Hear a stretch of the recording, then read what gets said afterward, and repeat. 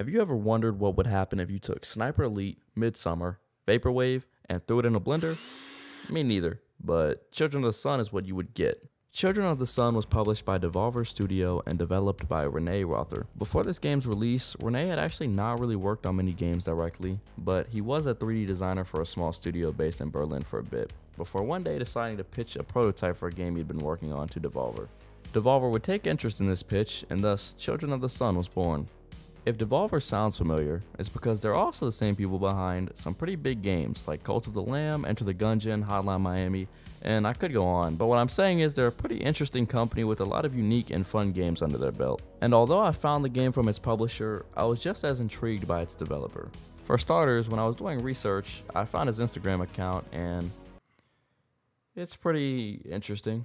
If the toilet based Instagram account didn't get your attention, I think Rene Rother is a super interesting individual by himself. When I was reading articles of him being interviewed, they sounded pretty unprofessional but sincere, which was almost refreshing to see. There was no hyping up his game to the max to sell as much as he could. In fact, he directly mentions that he's pretty bad at selling things, but instead, he talks passionately about something that he's put his life into for the past four years and hopes he can convey his work as best and honestly as possible. Admittedly, the gameplay is pretty different from what I was expecting, but I got over it pretty quickly. Oh, you thought you were using WASD to move around? Wrong. Actually, you can play this entire game with just your mouse, so your fat ass can consume Cheetos with your other hand. This was pretty jarring to me since most games I've played use WASD, but I got over it after about the first level or two. My biggest worry was that it would make the game feel boring, but it actually does quite the opposite. Instead of something like Sniper Elite or Hitman, where you're placed in a sandbox and have to use stealth to maneuver around for your kills, here you can only move left and right and have to scope out your map before firing your gun. And once you fired your gun, you'll use this bullet to kill the rest of your enemies. But you only have one bullet, so if you Lee Harvey Oswald that first shot, you're cooked, buddy. Although linear, I still think the movement is pretty interesting since most of the time you can align yourself in different positions for better angles. Later in the game, you'll unlock a few upgrades to change how your bullet travels. The first one allows you to curve your bullet in the air to hit enemies who are slightly hiding behind cover. The second ability allows you to speed up the bullet in the air to pierce armored enemies. And the third ability allows you to completely change the direction of your bullet mid-air, even if you miss a target. This essentially allows you to be forgiven for whiffing your shot, and allows you to shoot from way better and riskier angles. I'll admit I'm not a huge fan of puzzle-based games, but this does a lot to keep it fresh the entire time such as adding new enemy types and forcing you to use those upgrades I talked about to deal with them. On top of that, the game is pretty short. I think I beat it in about 4 to 5 hours and a lot of that was on the final level. Yeah, it was hard. The atmosphere in this game is what kept me hooked indefinitely however. Visually, it's super retro and melancholic and constantly had me feeling like I just put LSD in my PS2 by accident in the best way possible. The soundtrack accompanying this also works wonders for setting the mood. There's no drastic changing when it goes from action to scouting. Instead, it remains fairly similar the entire time. Music is one of the biggest factors when setting the mood for anything, and this choice is interesting, since a big part of the game is about finding the coolest ways to kill enemies, and essentially glorifying this violence. Most games would have badass music playing during a gunfight to make you feel like a hero, but Children of the Sun doesn't do that. It almost rides on a line between glorifying and demonizing violence. On one hand, this woman on the toilet just told me killing people makes her horny. But on the other hand, the music almost sounds like it's ashamed of my violence. And instead of slamming another Red Bull and getting hyped, I'm just staring at the monitor and thinking about my actions. Before Rene had even worked on Children of the Sun, he developed multiple walking simulator type of games, where the main focus would be the art and environment and not the gameplay. So think of something like a 3D art exhibit. I think he did a perfect job of transferring that artistic atmosphere into a game with several unique gameplay elements. The story for the game isn't anything too special admittedly, but it's serviceable with a slightly ambiguous ending and being the professional media analyst I am, I love obscure endings. The story is told in short cutscenes throughout the missions and are shown to you kind of out of order, so this might make it confusing, but don't worry, I've got you and I'm going to tell you the story in what I'm pretty sure is the chronological order. The story begins with a man and a woman joining a group of people after reading about them in a flyer.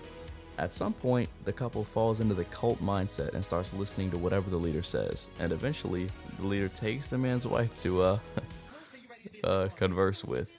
This woman ends up becoming one of the leader's women and is impregnated. Unfortunately, however, the man is not a big fan of my YouTube channel, so he's pretty furious about this. Sometime later, that man is hunting with a young child, who I'm assuming was the child of his wife that was taken because I don't really think it's explained, and that's my best theory. And I'll kind of explain why I think that is later, but anyways. While the young child is hunting, she misses a shot, but activates her power to direct the bullet towards every animal. It's here where the group realizes she's special. After discovering her powers, the leader tries to take the child.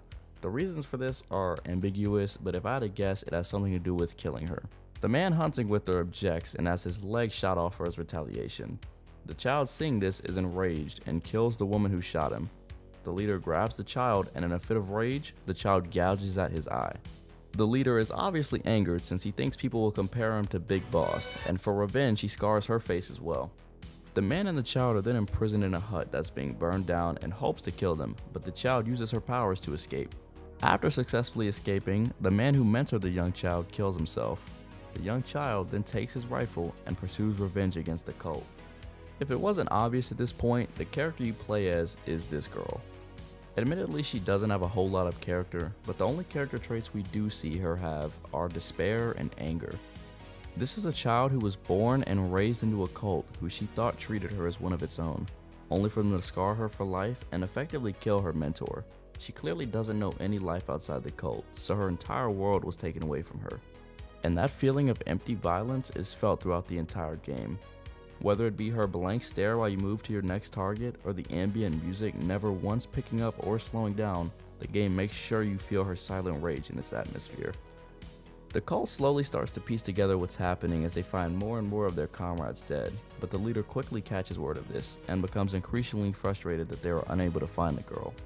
Eventually, we manage to track the leader down and kill him, and after that, the cult deems you as its new leader. There's a few reasons why I think the leader is your dad. The first of these is pretty much the main character says it in a dream she has. She refers to someone as your dad, and it's really heavily implied that it's the leader. But you could argue that might be metaphorical since he's the leader of the cult. Everyone might call him dad. But in the mission where you kill him, he's protecting himself with multiple force fields and using magic pretty similar to yours. So I think it's entirely possible you inherited powers from him.